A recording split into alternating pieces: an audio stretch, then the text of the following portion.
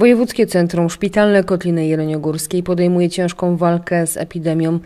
Na zakażenie koronawirusem narażeni są wszyscy pracownicy. Obecnie kwarantannę przechodzi m.in. dyrektor do spraw lecznictwa. Dyrektor szpitala przebywa na kwarantannie, natomiast cały czas w pełni koordynuje pracę szpitala. Za ogromne zaangażowanie w tym trudnym dla wszystkich czasie podziękowania należą się całemu personelowi szpitala. Wielkie słowa naszego społecznego uznania. E, Pozwolę sobie przekazać e, gorące podziękowania całemu zespołowi. Jesteście Państwo e, bardzo dzielni, bardzo odważni i będziemy zawsze Was wspierać w tych trudnych także chwilach. W ostatnim czasie oddziały, których działalność została zawieszona ze względu na zakażenia pacjentów i personelu, zostały ponownie uruchomione. Szpital cały czas funkcjonuje, niesie pomoc mieszkańcom Kotliny Jeleniogórskiej. W ostatnim czasie udało się uruchomić oddział pulmonologii, neurochirurgii. Pewne ograniczenia dotyczą pediatrii, natomiast staramy się, aby ten szpital cały czas niósł pomoc, funkcjonował. To jest wszystko naszym wielkim wspólnym zadaniem. Unormalizowała się już sytuacja na oddziale ralengologicznym.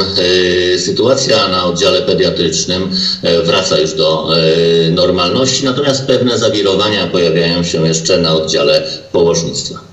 Pytaliśmy, czy istnieje możliwość, aby testy na obecność koronawirusa wykonywane były na miejscu w Jeleniej Górze. Oczywiście pojawia się e, tutaj pewna, e, pewien problem związany z e, organizacją laboratorium badającego czy wykonującego testy na obecność koronawirusa w Jeleniogórskim e, Szpitalu.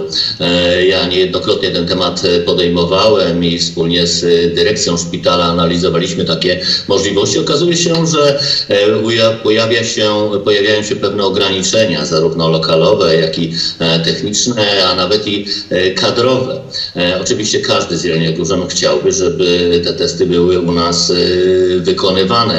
E, w- Sądzę, że jeszcze na pewno do tematu e, wrócimy. E, Być może konieczne będzie wykonanie pewnych prac e, remontowych, pewnego, pewnej adaptacji obecnych, części obecnych pomieszczeń szpitala, tak żeby móc stworzyć bezpieczne i odpowiednio wydajne laboratorium, w którym próbki pobierane od Jeleniogórzan mogą być tutaj na miejscu badane.